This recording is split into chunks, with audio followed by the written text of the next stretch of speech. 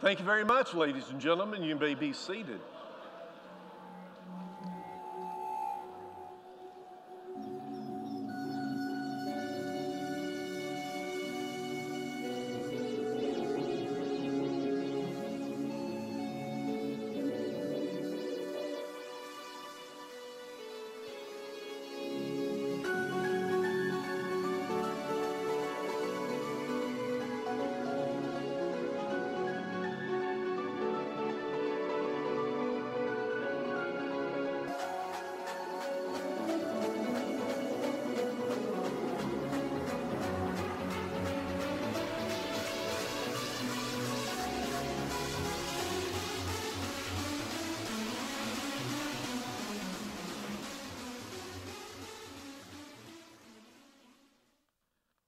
Well, I heard the story about a man who was sitting in a diner uh, eating a bowl of uh, alphabet soup. And he, he would look into the bowl of alphabet soup and stare, and, and then he would write something on a pad. And then he'd look back and he would stare, and then he would write something else on his pad. And the fellow next to him, a little confused, so what, what are you doing there? And he said, Well, I'm, uh, I'm trying to discover God's will for me today. And, and I look in the alphabet soup, and when it spells a word, I write it down, and that's how I get God's will for the day. And the guy said, Well, what, what have you learned so far? What has God told you so far? And the guy looked at his pad and said, Well, so far, God goes, Oh. And the fellow looked in the bowl of soup and said, That's not alphabet soup, those are Cheerios.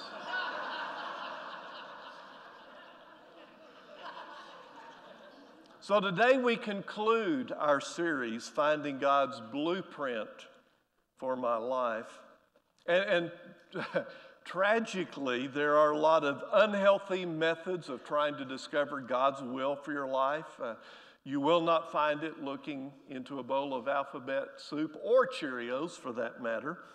A lot of bad methods. I heard about a, a farmer one day looked up in the sky and clear as a bell, the cloud formation spelled out three letters, big, bold letters, uh, real clear GPC.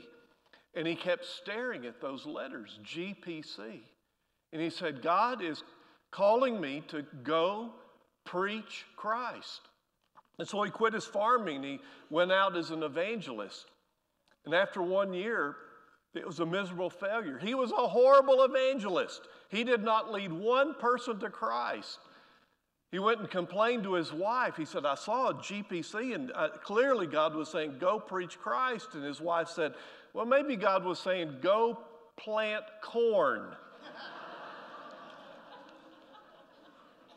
Hopefully, in this series, we have learned healthier methods of finding and fulfilling God's plan and God's will for our lives. Now, it's very important as followers of Christ that we learn how to follow Christ. How do we follow God's will, God's blueprint? But you know, learning it and doing it are two different things. It can, it can be tough following God's will. As soon as you make a decision okay, I'm really going to obey God's will for my life. I'm going to make that a top priority of my life. You will quickly discover obstacles. There will be barriers placed in the road on your desire and on your journey to fulfill God's purpose for your life. And so we're going to look at some of those today, some of those obstacles that we can expect to encounter. In fact, we're going to look today at an amazing period of time in the Apostle Paul's life. He, uh, he faced this very challenge of wanting to do God's will and yet running into these barriers. It, we're going to see in our text today that God made his will very clear to Paul. There was no doubt about it. And yet, the minute Paul learned of, his, of God's will, he started running into these barriers. The story is told in Acts 20. If you want to follow along in your Bibles, Acts 20 is the place we will begin. Little backstory here Acts 20. Paul, at this point in, uh, in his life, is at the end of what is known as his third missionary journey. Okay? At the end. He has been working with a number of churches in Macedonia, in Greece, uh, Asia Minor, uh, what is today known as Turkey. And while he is at the end of this journey, suddenly God makes very clear to Paul that he is to leave Asia Minor and head to Jerusalem. Now, it is at this point in the journey that Paul runs into three obstacles obstacles to living out God's blueprint for his life. So here's the deal. Today, from Paul's example, we're going to learn these three obstacles. We're going to learn how do you expect them to come and how to handle them when, not if, but when they come. What can you expect if you say, okay, I'm going to live God's blueprint? Here's what you can expect. Number one, expect uncertainty. Expect uncertainty. And that exact, just what you wanted, you know? I want to do God's will and I get confronted with uncertainty. Look at Acts 20, verse 22.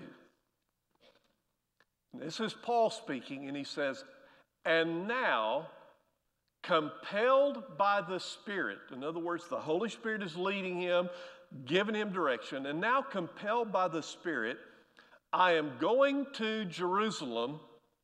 Now look at this not knowing what will happen to me there. Now don't read over that too quick. I'm going to Jerusalem. The Spirit has made it clear I'm to go to Jerusalem. And when I get there, I have no idea what's going to happen. Can you spell uncertainty? By the way, have you ever noticed in your own life how God has a, has a habit of revealing the next step in your journey, but not the entire itinerary? Anybody figured that one out? God will give you the next step, but He doesn't tell you what's going to happen next week, next month, next year. It's like you're going to Jerusalem, but you don't know what's going to happen when you get there. That uncertainty. God has a way of revealing part but not all of his plan for Paul. We can expect God to do the very same in our lives. Now, I've been wondering about this. I'm going, okay, that's what God did. Why? Why would God tell Paul where to go but not give him the details of what's going to happen when he gets there? Why would God give you and me the next step in our journey but not give us a little more detail when we get there? I think I learned why. God is teaching us to, to walk by faith, not by sight. You've heard that verse. God is really big into this faith thing. I mean, He actually wants us to trust Him with the whole journey and to trust Him to give us one step at a time. No further, just one step at a time. He's teaching us to walk by faith. He doesn't give us all the details. Because when He doesn't give us the details, we have to trust Him. We just have to kind of step out and say, okay, God, uh, I, I'm going to put my faith in you. I'm going to trust that you're going to get me there. And then once I get there, you're going to meet my needs and reveal more of your plan. Now, I thought of a, a few examples of this. I want you to think about this. Uh, any parents in the room? Any parents in the room? Yeah. Um, having children. If God had told you all the details of raising children, there would be no children. It would be the end of civilization as we know it today. And, you know, that's why I, have watched uh, parents who've raised their kids and kind of sent them out into the world. And then when, when young couples, you know, get married and they have a kid and they're all excited and, you know, they say, oh, this is the most wonderful thing in the world. And I see these seasoned parents just smile. God doesn't give you all the details. No. Tell you what, another example. Uh, anybody here use GPS in their car on your phone? Yeah, everywhere Mary and I go, if we didn't have that, well, we just wouldn't go anywhere because we'd get lost. But have you noticed when you're listening to the, I call her the GPS lady, have you noticed that she will give you the next step But that's it. You're driving down the interstate and it'll come on in a quarter of a mile.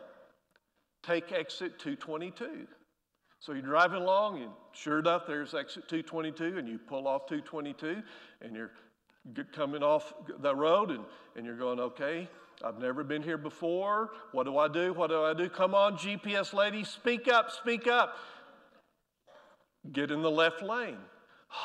And just in time, just in time, she tells me, I get in the left lane. Okay, now what? Oh, that, there's a light coming. Do I go left, right, straight? When you get to the light, turn left. She, she pushes me to the edge. Every time. I'm going, come on, lady, how hard would it be to say, take exit 222, stay in the left lane, and when you come to the light, turn left? It's not that hard. You've been there. Now, don't repeat this, but God is like the GPS lady. He gives you the next step. In your notes, living God's blueprint is like following a treasure map with additional clues given along the way. You don't get them up front, you don't get a book of the clues. No, you get the next clue, and then you, then you go there, and then you discover, oh, here's the next clue. And then you go, oh, here's the next clue. That's the way God leads us because He wants us to learn He's trustworthy. If we hope to live God's blueprint, you, like Paul, can expect what? Uncertainty along the way. Now, here's another obstacle in living God's will. Number two, you can expect hardship. You can expect hardship. All right, let's pick up the read. The very next verse, Paul's still speaking, verse 23, he says, I only know, okay, here's what Paul does know. I only know that in every city, the Holy Spirit warns me that prison and hardships are facing me. However, I consider my life worth nothing to me. My only aim is to finish the race and complete the task the Lord Jesus has given me the task of testifying to the good news of God's grace. Hardship. God makes it very clear to Paul that he can expect hardship and even opposition all along the way to Jerusalem. We can expect the very same in our lives. I want to read a verse of scripture to you that you have probably never had calligraphied. This is not one of those verses, you know, you put on the refrigerator door. You don't see these engraved on plaques hanging on walls. Uh, 2 Timothy 3:12, it's still scripture and it says, in fact, everyone who wants to live a godly life in Christ Jesus will be will be, not maybe, not could be, will be what? Persecuted, hardship. Listen, if you're going to follow Christ, you're going to catch it. You are going to catch it in your notes. Living God's blueprint is always the right way, but it's not always the easy way. It's always the right way, but don't think it's the easy way.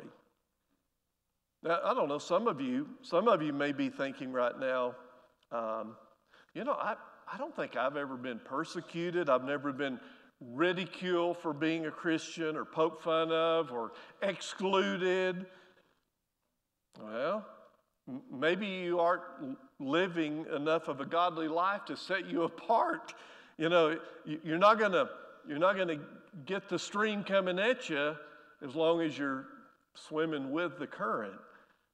But as a believer, when you turn against the culture, that's when you're going to catch it. So Paul just says, get ready.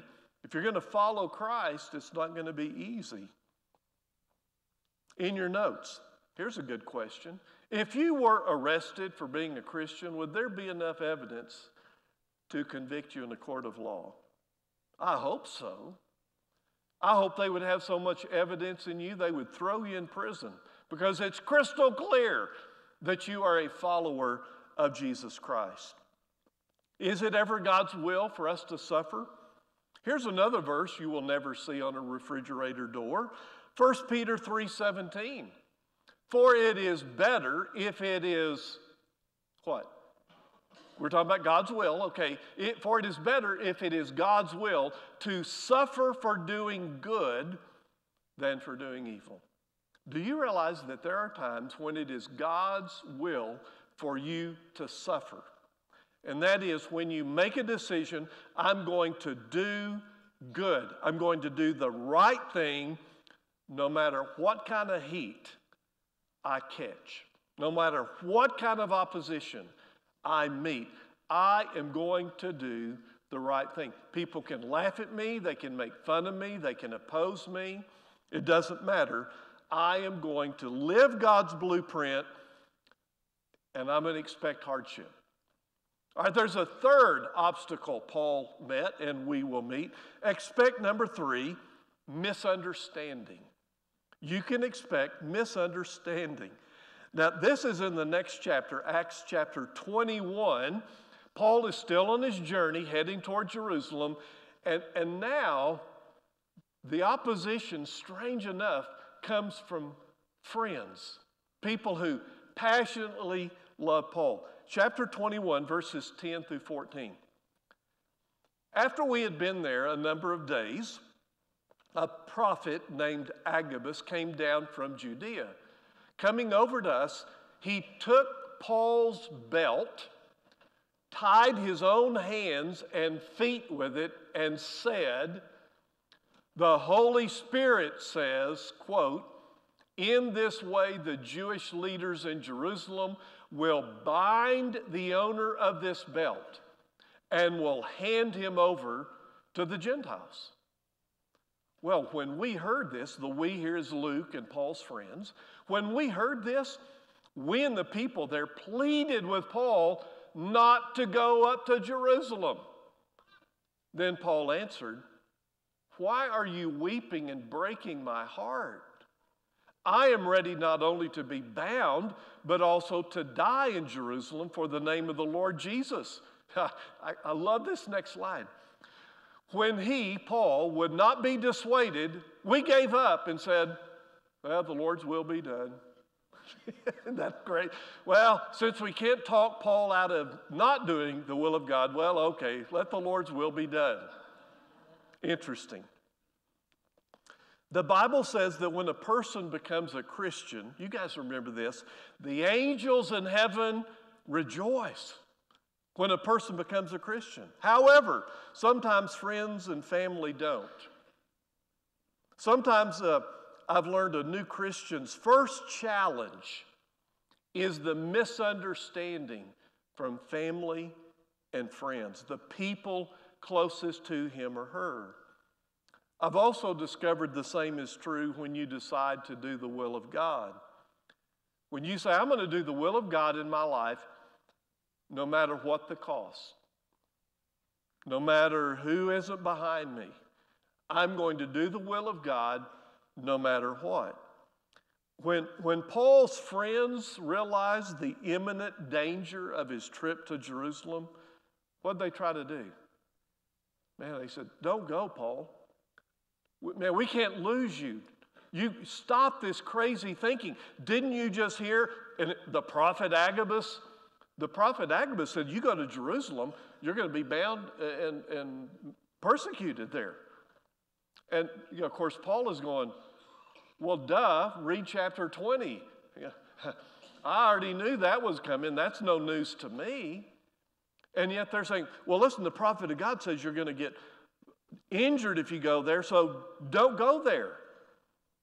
Paul says, No, no. Don't break my heart. Now, I love Paul's friends, don't you? They, their concern is well attended, intended, very much so. There, there's only one problem they're dead wrong. When it comes to the will of God, they're dead wrong. Their heart's in the right place, they're just dead wrong. We can expect the very same thing in our lives. I, I remembered back, I don't know, it's been a few years, there was um, a, a young couple in Roswell, and God clearly called them to the foreign mission field.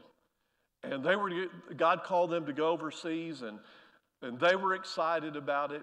And uh, the, the church got behind them and supported them. And there was only one group who opposed them. Anybody want to guess? It was their family. Their family. You know, grandma and grandpa, don't you dare take my kids over the ocean. Those are my grandkids. Don't you dare do that. And it, it really created a, a pretty severe friction in that family, just like with Paul. Now, the good news is finally that family came to the conclusion okay, the Lord's will be done. Friends and family, in your notes, friends and family can be sincere, but sincerely wrong. That's why we must seek to know God's will for our lives, and then once we know it, we must live it out. E- even if those closest to us don't agree, don't support, even if they oppose that decision to do the will of God. I was thinking about the Old Testament guy named Job. You guys ever read the whole book of Job? It's a fascinating book. And, you know, basically, you know, Job's, uh, Job's life falls apart, he loses everything, and his friends come to help him out. With friends like that, who needs enemies? You read the story, and Job's friends come, and basically, Job's friends say, uh, Here's the problem the reason you're suffering is there is sin in your life. So, Job, here's God's will for your life. God's will for your life is confess your sin, and then God will heal you and restore everything. But, Job, there's sin in your life, so God's will is you confess your sin. Now, those of you who have read the book, what was wrong with that? They were well intentioned, they were just dead wrong. That was not the reason of Job's suffering. God had a bigger plan that they did not understand. I, I, say all that so you will understand there will be times when you are convinced, crystal clear, this is God's will for my life. It may be a relationship, it may be a job, it may be a move to a new city, it could be a thousand things. And you prayed and you sought God, and God's will is clear. You can expect obstacles. Don't think that once you know God's will, man, it's clear sailing. I'll get nothing but applause from those around. No. Paul would say, Job would say, expect some opposition from your friends. Expect people who love you, care about you, expect them just to misunderstand what God is doing in your life. A little, little side note here. This is why you must be very careful in, in discerning and living out God's will. You have to be very careful with this one, where someone comes up to you and says this God told me to tell you. Very careful. God told me to tell you. I could write a book on horror stories of people's lives that were destroyed and devastated because someone they loved and respected came and said, God told me to tell you. And they just acted on that, and it was devastating. Terribly devastating. I've seen marriages that should have never happened ruined because somebody said, God told me to tell you two to get married. And then they got married. And it was not a marriage made in heaven. So here's, here's a good rule of thumb that I use because uh, uh, I don't know, there's something about pastors that maybe we have a sign on our back that says, Please come and tell me God's will for my life. so I, have I've seen this over the years. So here's the rule of thumb that I use. Uh, as a general rule, use this kind of advice as confirmation, not direction. Get it? Confirmation, not direction. In other words, if you've kind of been moving in this direction and you're sensing that's God's lead, and then friends and family come along and say, you know what, I want to confirm that. I think that does fit you. That is a wise decision. You can use that advice as what? Confirmation, not Well, I, I never thought about moving to Zambia as a missionary, but you know, that guy, he looked right at me and said, God told me to tell you, you're going to Zambia as a missionary. Make sure you, ha- you kind of been thinking about Zambia. There's a map of Zambia in your bedroom, you know, little things like that. Use it as confirmation, not direction. Hey, by the way, that, that advice, that is free. You don't have to pay for that today. Get it just for coming.